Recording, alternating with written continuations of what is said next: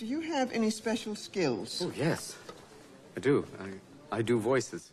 What do you mean you do voices? Well, I do voices. Yes! We've come to this planet looking for intelligent life. Oops, we